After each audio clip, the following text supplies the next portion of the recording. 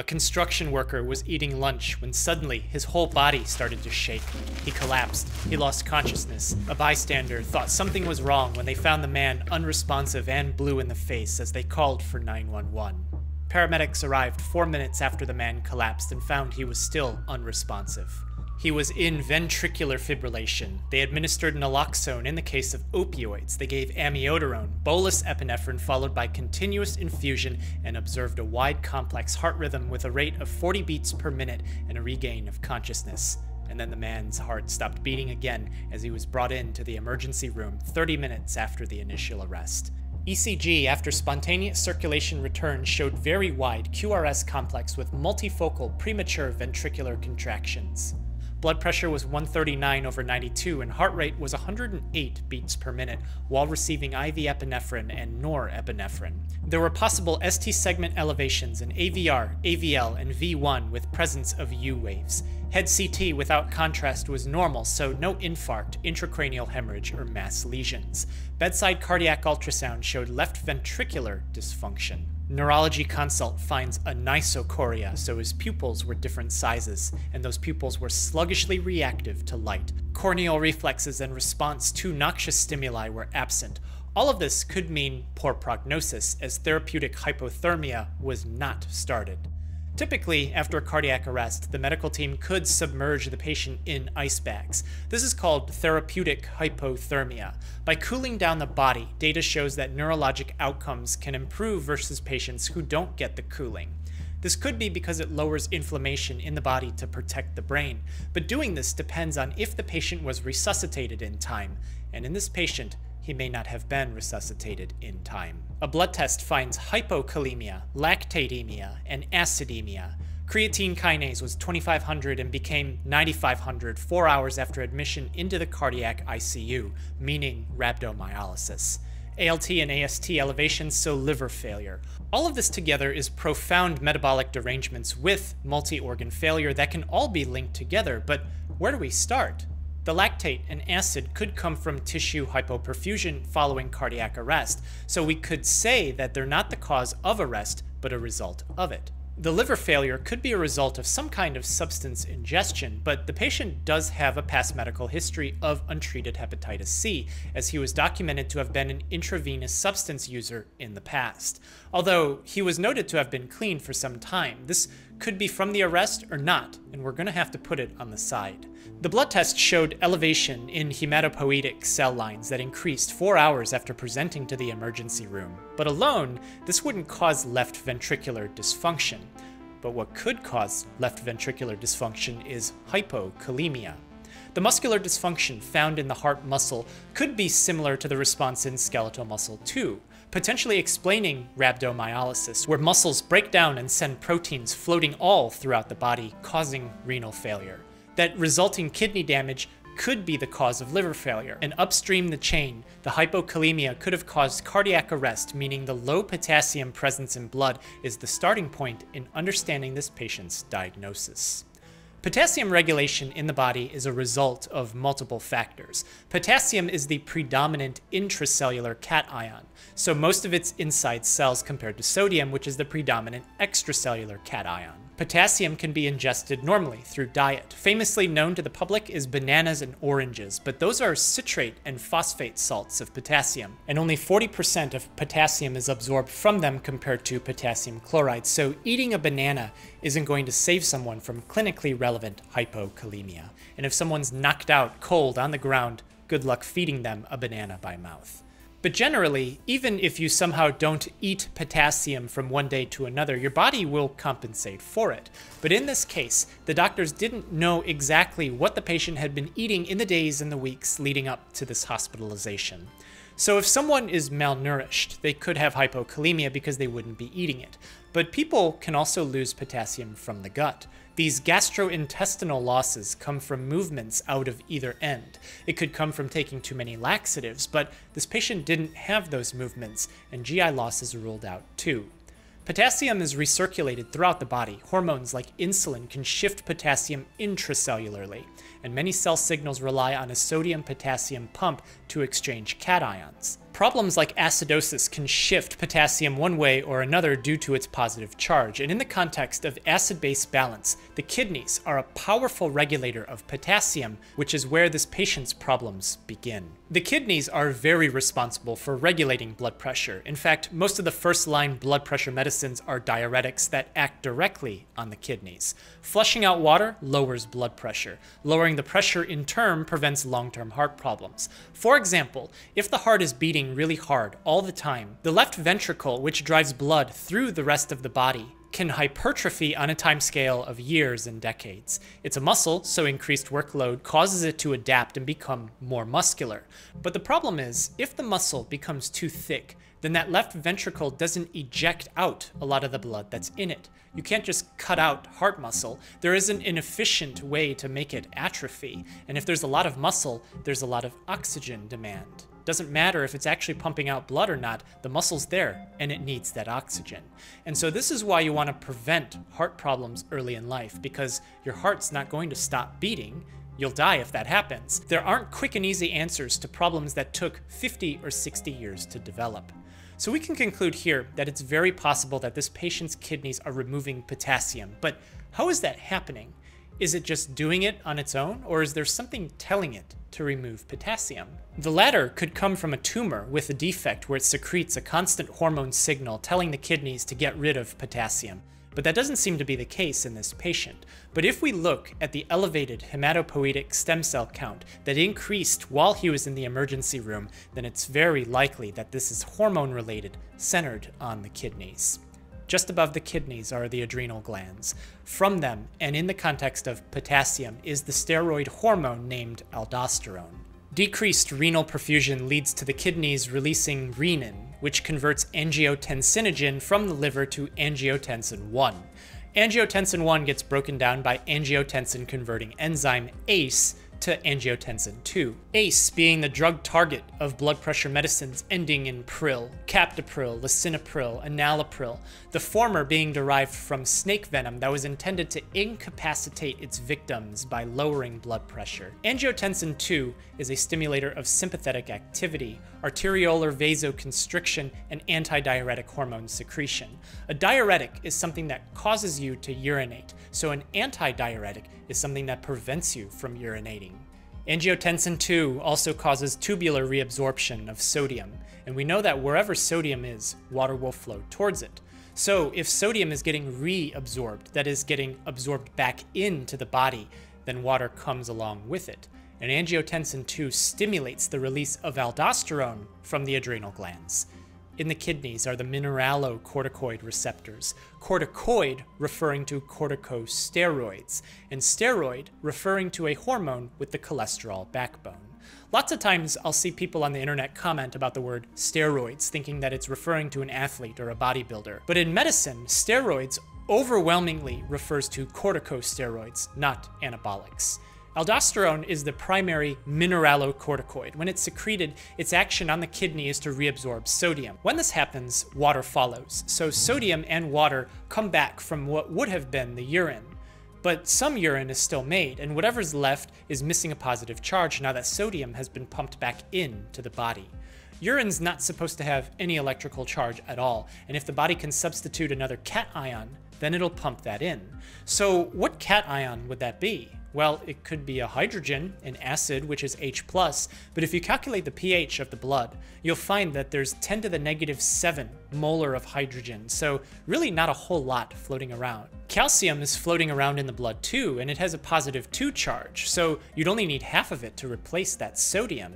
But that wouldn't work because there really isn't too much calcium in the blood either. And so that leaves us with potassium, which by standard has a sodium potassium pump in the tubules, meaning that presence of aldosterone means that potassium will get put into the urine and excreted from the body. Interestingly enough, this process is exploited by bodybuilders right before their show. They call this drying out, which gives them that ultra defined look, but it can only really happen if they're lean enough, usually defined by them as less than 2% body fat. What they do is they'll drink several gallons of water and make sure not to ingest any sodium. They'll go so far as to boil raw chicken breast and eat that without seasoning to ensure that no sodium is consumed. They do this for a couple days while drinking many gallons of water every day, to the point where they're urinating every 5 to 10 minutes. And at evening, about a day or two before their show, they stop eating and drinking altogether, but they keep urinating to the point where they drive themselves into a water deficit, thus becoming dry. By doing this, they suppress any aldosterone that would be secreted normally, that would be used to reabsorb water and sodium because the body knows that there's too much water and it wants to get rid of it. And by pushing down those hormone levels, they eventually run themselves into a sodium and water deficit, and then they run their bodybuilding show as lean and as dry as possible before the body rebounds the hormones to hold on to as much water and sodium again. So that would be aldosterone and antidiuretic hormone levels shooting up. I can't imagine anyone feeling good while doing this or at any time immediately after. But back to the average person. Think about those diuretic medicines for blood pressure. There's spironolactone, which sometimes gets called a potassium sparing diuretic but that's only describing one part of the result of what it does. What's better is to say that spironolactone is an aldosterone antagonist, therefore blocking aldosterone from reabsorbing water by exchanging sodium for a potassium. This makes the body push water and sodium out while keeping potassium. It has a similar shape to aldosterone, but if we go further down the chain, it could look similar to testosterone, but we know that testosterone in large amounts gets broken down to estrogen.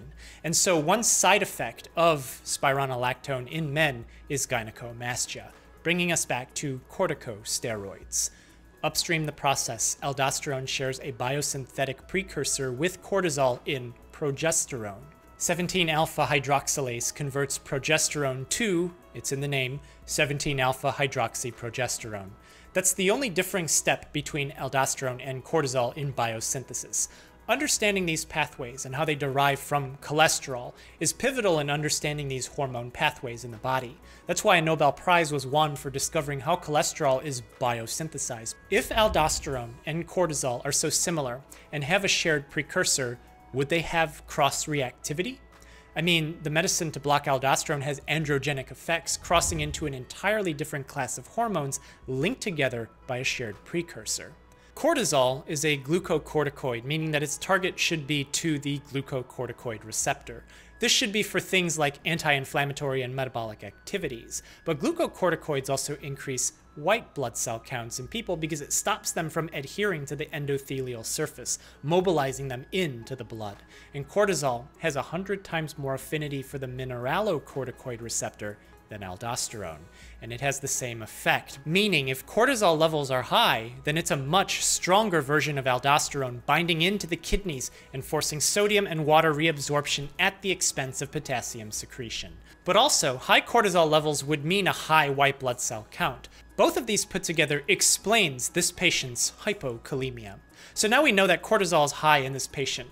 What's stimulating this excess? There doesn't appear to be a disturbance in the hypothalamic pituitary adrenal axis. So this could be a case of acquired apparent mineralocorticoid excess, meaning this stimulation could be a result of ingesting an exogenous compound. The patient's family tells doctors in the cardiac ICU that he had been eating bags of licorice candy over the past few weeks, and he had changed candy brands from a fruit flavor to an actual licorice candy. Could this have been the reason for everything that's happened to this patient? Maybe, but there's a few other factors to keep in mind. Licorice is an old herbal remedy. Chinese pharmacopoeia, going back at least 2,000 years, has documented its use in ailments like stomach ulcers. Assyrian clay tablets going back to even 2500 BC and Egyptian papyrus have documented its medical use too. It was known back then to be a remedy for things that we know today are caused by inflammation. And how would it do that? Well, licorice comes from the root of the Glycyrrhiza glabra plant. In it is a compound named glycyrrhizic acid, which is sweeter than sucrose. If you look at the compound, do you notice something? Maybe a cholesterol ring on there? These two glucoses are cleaved off in humans and we're left with glycyrrhetinic acid. Earlier in the 20th century, cases were documented highlighting problems of sodium and water metabolism in patients who consumed licorice. And because glycyrrhetinic acid has that cholesterol backbone, they thought that maybe it binds to the mineralocorticoid receptor just like aldosterone. But the problem is, glycyrrhetinic acid only has 0.01% affinity to that receptor. So if it doesn't directly stimulate the same action that aldosterone would, why would licorice cause sodium reabsorption and hypokalemia? Several decades later, scientists found that glycyrrhetinic acid binds to 11 beta hydroxysteroid dehydrogenase type 2. That's the enzyme that's employed by the human body to break down cortisol to cortisone. Cortisone has no mineralocorticoid activity, but if cortisol is never broken down to cortisone, the body has trouble eliminating or inactivating it. Cortisol starts floating around in large amounts, and because it has 100 times the affinity for the same receptor as aldosterone, then it'll force sodium reabsorption and potassium secretion both in large quantities. All of this was happening with low plasma renin and low serum aldosterone, consistent with a mineralocorticoid disorder involving something other than aldosterone, and the 11 beta hydroxysteroid dehydrogenase inhibition from excessive licorice consumption is in line with this. So how did hypokalemia cause rhabdomyolysis? What does it have to do with cardiac arrest? Skeletal muscle is a very metabolically demanding tissue. In order to meet this demand, it needs to have appropriate perfusion. When muscles contract, they may need a signal that's initiated by sodium, which shifts intracellularly. As it reaches a threshold, calcium enters to commit to a contraction and potassium is shifted out. The local elevation in potassium usually causes vasodilation, which enhances regional blood flow. That's in normal function. But if potassium is low in the blood, then the muscle cells don't release so much potassium, meaning that there isn't that vasodilation. There isn't enough perfusion to meet the metabolic demands of the muscle tissue. This causes ischemia as the muscle tissue starts to necrose, resulting in rhabdomyolysis. Cramps in the calf muscles commonly happen as an indicator of rhabdomyolysis, just like in this patient. And so, with this aberrant signal conduction in muscle tissue, the final part of it goes to the heart. As potassium is supposed to signal relaxation, hypokalemia means no relaxed signal is sent to the muscle, and the longer the patient is pulseless without CPR, the worse the outcome, as was shown in the case of this patient, because goals of care were discussed with his family. They decided upon comfort measures given the poor prognosis, and at 32 hours after presenting to the emergency room, the patient passed with family present. The final thing I want to bring up is that actual licorice candy containing glycyrrhizin is kind of rare to find in the United States. You typically won't find it at chain grocery stores, so any big brand name candy in the United States isn't going to do this for you.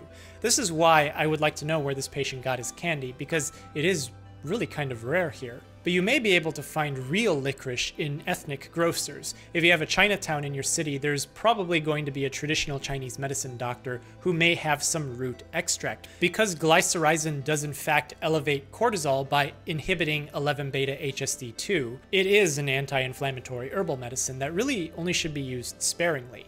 Corticosteroids, as well as any steroid should never be messed with because they disturb equilibriums in the body for a very, very long time and the changes that they make in the body could be permanent. Fun fact, the video about a grandpa who set his clock forward one hour for daylight savings time published on Chubby Emu was originally shot as a grandpa who drank several liters of licorice tea, someone who I had a personal connection with. But I ended up changing it last minute. I probably shouldn't have. Thanks so much for watching. Take care of yourself and be well.